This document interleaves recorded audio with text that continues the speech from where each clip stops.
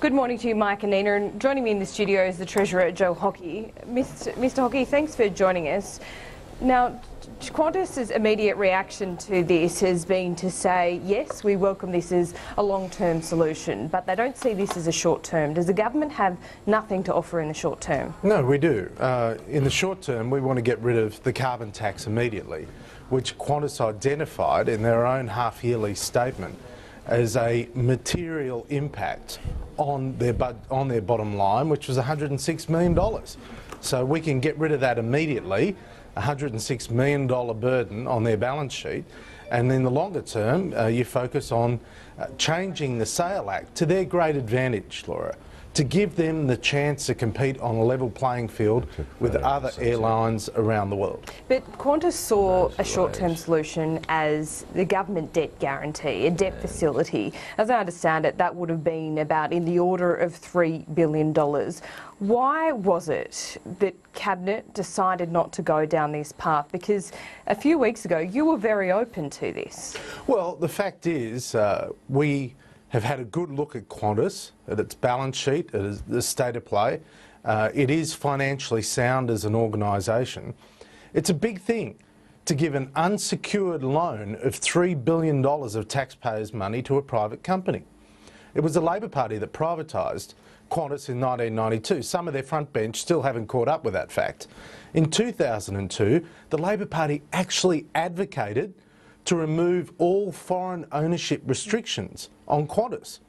So they've been skiing down the hill from privatisation to getting rid of foreign ownership, and near the bottom of the hill, uh, Bill Shorten holds up his hands and says to everyone, let's turn around and ski back up the hill. So, Mr Hockey, sorry to interrupt, but you did a few weeks ago set out the four criteria that Qantas mm. needed to yeah. fulfil in order to get a debt guarantee. Mm. Why did you do that well, if you had no intention of offering it? Well, uh, firstly, uh, the first criteria that we laid down was they are constrained by a specific piece of legislation that affects just their company.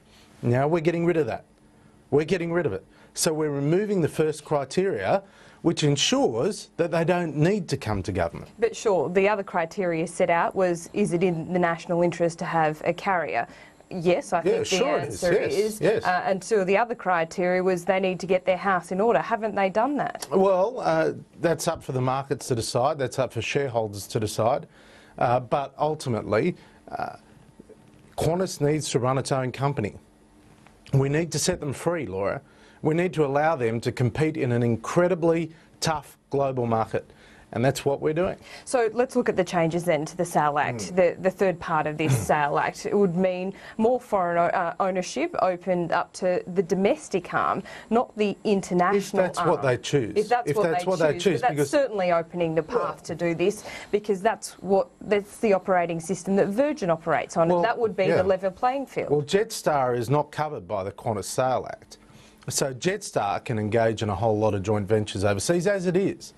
Uh, but the fundamental point is Qantas is being set free to do what it must do to sustain its business model. Now, the directors have a fiduciary obligation to act in the best interests of the company. They are not going to run down the company deliberately. What they have to do, what they have to do is manage the company for the sake of the shareholders and the stakeholders, including customers. So looking, let them do that. Looking at Qantas's uh, labour costs, I think that something like 24% of their revenue goes toward labour costs. This is quite high when you compare it to Cathay Pacific, which I think is about 13%. So, mm. given that, do you see that Qantas now without these uh, restrictions in place, would look to offshore uh, their maintenance facilities, their catering facilities, and other parts of the business. That is uh, the end game here, isn't it? That's a matter for them.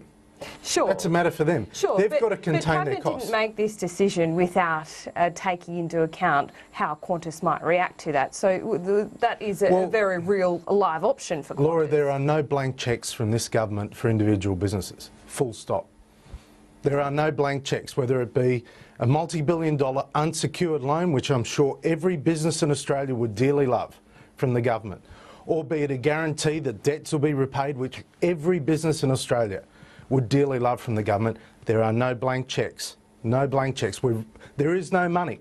Labor's left us with $123 billion of deficits, $667 billion of debt.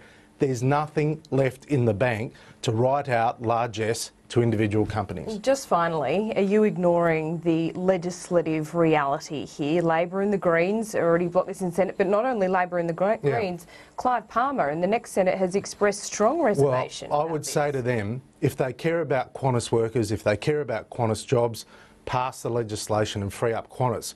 Labor believed in that 12 years ago. What's happened is Labor's going back to a pre-1992 position. They effectively want us to nationalise Qantas. Well, that's Labor's position. Uh, I think uh, Ben Chifley would be spinning in his grave at the thought that Labor has no consistent Sure. principles. Does the government have a plan B? And if this stalemate continues even into the next Senate, is this something Cabinet will revisit? Plan B is to improve the economy. That's what we've got to focus on so that all airlines employing Australians can do well. Well, should Qantas not be keeping up this 65% market share? That's up, up to them. That's their business model. That's up to them. Treasurer Joe Hockey, thanks for joining Thanks us. very much, Laura. Thanks.